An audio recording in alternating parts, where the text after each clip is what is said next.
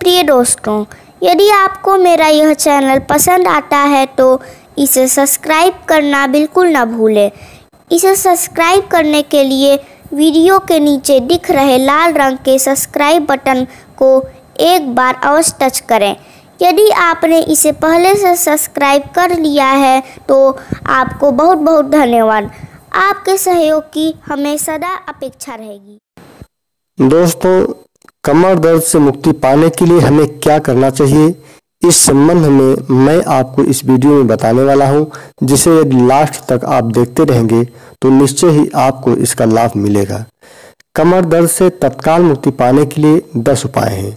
सबसे पहला उपाय है कमर दर्द से छुटकारा पाने के लिए आपको अधिक से अधिक आराम करना चाहिए और नियमित चकाई भी होनी चाहिए।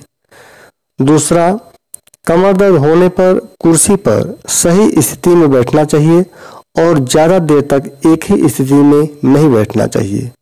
तीसरा गड्ढा युक्त सड़कों पर बाइक या साइकिल धीमा चलाना चाहिए, जिससे कि आपके कमर पर झटका न लगे। चौथा खाने में आपको हल्का और सुपाच्य भोजन ही लेना चाहिए।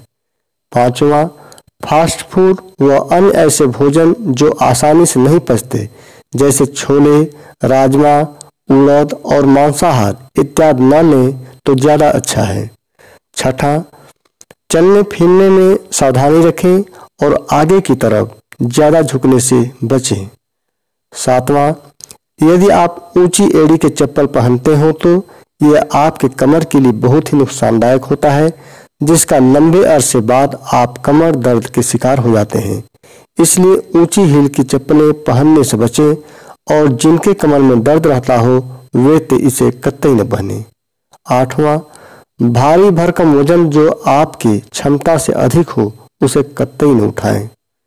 नवा, सोने के लिए सीधा बेड या तखत का प्रयोग करें जिस पर पतला गद्दा ही बिछा कर सोएँ।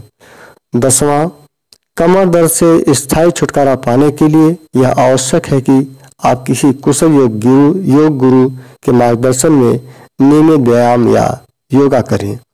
दोस्तों, मेरा यह वीडियो यदि आपको अच्छा लगा हो तो इसे लाइक, शेयर और सब्सक्राइब ज़रूर करें और मेरे अगले वीडियो के लिए नोटिफिकेशन का बटन अवश्य दबाएँ।